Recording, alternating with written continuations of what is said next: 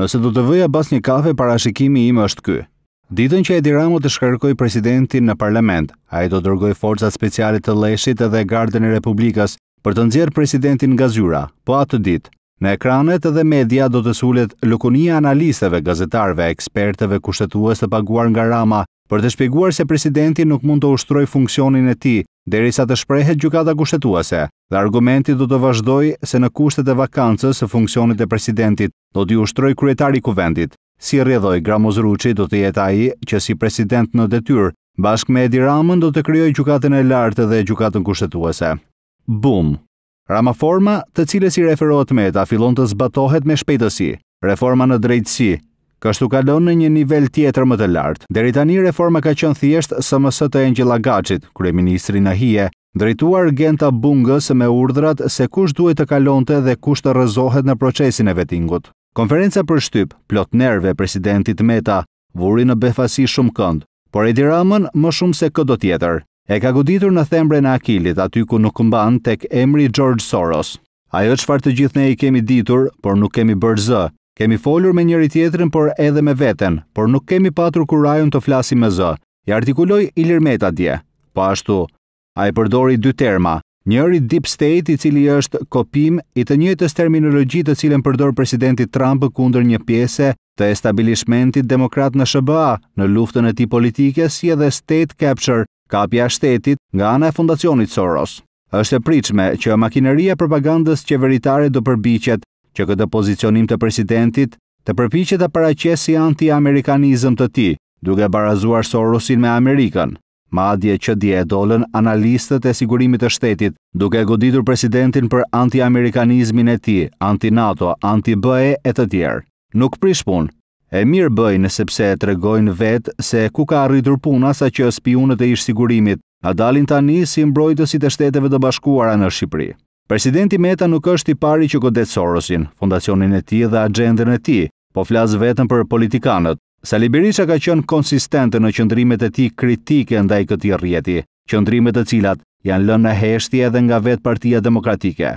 Në fakt, edhe Lulzim Basha në pozicionin e tij si kryetar i Partisë Demokratike, Diku në prill të vitit dy mijë e shtatëmbëdhjetë, sulmoi ashpër Xhorxh Soros me emër, në një nga fjalimet e tij në Çadrën e Lirisë, por e la me aq. Qëndrimi i djeshëm i Presidentit të Republikës e vendos diskursin politik në një nivel tjetër, ai flet si kryetar shteti dhe jo si kryetar partie apo deputet i thjeshtë. Mundësia e tij për të përçuar këto mesazhe në Tiranë, por edhe përtej Atlantikut, janë shumë herë më të mëdha, jo rastësisht, Networku Fox News, i shquar si mbështetës i Presidentit Trump, por edhe si kritiku dhe kundërshtari kryesor mediatik në Shtetet e Bashkuara të Amerikës ndaj Xhorxh Sorosit, i bëri jehonë të madhe konferencës për shtyp të Presidentit Meta. Ilir Meta ndoshta pak me vonesë, por ka gjetur mesazhin e duhur për të rezonuar edhe me betejën politike të brendshme amerikane duke u pozicionuar në krah të kampit Trump. Me këtë pozicionim të ri të Presidentit, ai arrin të paktën tre synime. Së pari, ai e tregon fytyrën e vërtetë të network-ut të Xhorxh Soros në Shqipëri si urzurpues të të gjitha institucioneve shtetërore dhe të ashtuquajturave reforma. Së dyti, duke ndarë Fundacionin Soros nga administrata amerikane, ai hedh poshtë propagandën e Ramës për gjoja antiamerikanizmin e tij dhe të opozitës dhe së treti, Ai hap në Shqipëri një diskurs politik i cili është në rezonancë të plotë me atë të Washingtonit. Dy kundërshtarët më të fortë të Soros në Evropë janë Matteo Salvini, lideri de facto i Italisë dhe kryeministri hungarez Viktor Orban. Që të dy janë njerëzit më të sulmuar nga i ashtuquajturi network i njerëzve të sponsorizuar nga Soros në Evropë, por që të dy gjatë muajit qershor vizituan Uashingtonin, Salvini i ftuar nga zëvendës presidenti Mike Pence dhe Orban i ftuar nga presidenti Trump. A janë antiamerikanë këta të dy? Fabula se kush sulmon Soros është antiamerikan bie akoma pa u artikuluar dhe Rama e di mirë këtë, prandaj ka dy ditë që hesht. Ilir Meta i është futur një loje të rëndë, por një lojë që çmonton përfundimisht Edi Ramën. Është herët për të kuptuar se ku synon të dalë presidenti dhe si rrjedhojë dalin një sërë çështjesh dhe pyetjesh. Së pari, deri ku do të shkojë Ilir Meta?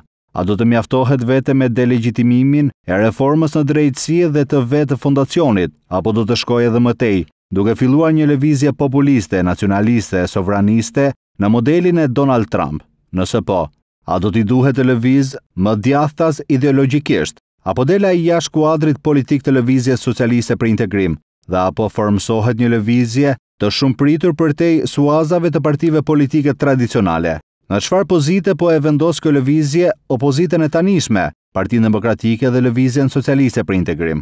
A po e rrëmben ai flamurin e opozitarizmit? Kush është pozicioni i Partisë Demokratike dhe i Lulzim Bashës si lider i saj dhe i opozitës në tërësi? Çfarë alternativash ka ai, që të ruajë pozicionin që ka si lider i opozitës dhe opozitarizmit? Nga dje, loja politike ka ndryshuar në Tiranë. Sfida e Ilir Metës, është ndaj të gjithëve. Lulzim Bashës i takon ta ruajë pozicionin e tij si lider i opozitës, por duhet të dijë si ta mbajë.